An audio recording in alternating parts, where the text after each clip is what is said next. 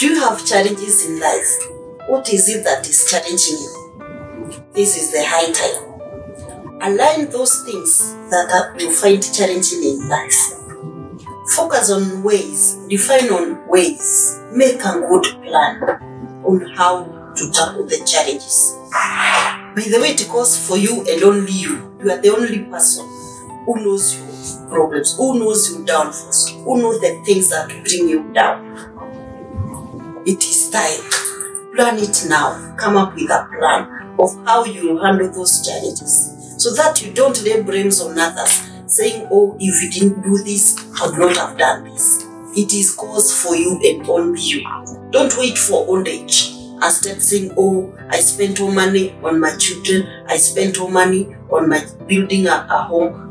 No, that's why I have no retirement benefits. That's why I don't need something at the age of 60. Time is now. You should focus on those things that you know you need in the future. Plan for your future. Time is now. Begin early. Begin now. It is upon you to set your own race.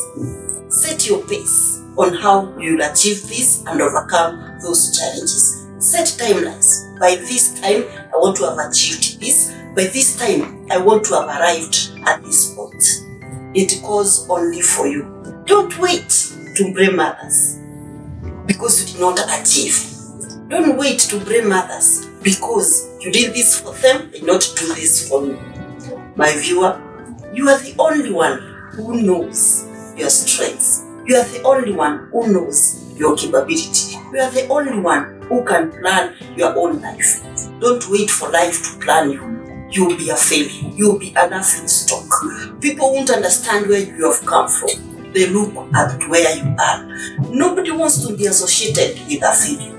When are struggling, when are going through hard times, when you are toiling and struggling in life, nobody wants to identify with you. But the moment you succeed, everybody learns towards you. So it is upon you to know where you want to be.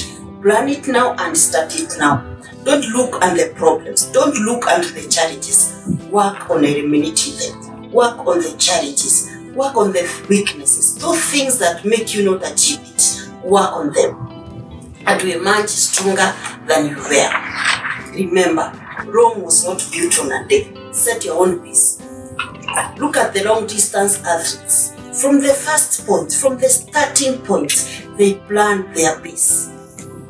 Whether you sprint or you run after them, they hardly change. They keep their pace because they know when they go towards the ring how they split out. So it is upon you not to look unto others. Set your own pace and move to your own ability and strengths. Don't compete with others. You may fail in the last next moment. But if you take your pace, you succeed. You make it at the end of the day. In life, by the way, we are not competing. Each and every person is living his or her own life. So don't try to compete or associate or relate your progress with other people. At the end of it all, it is you and your life. It is not them. It is you and your life. Thank you for watching.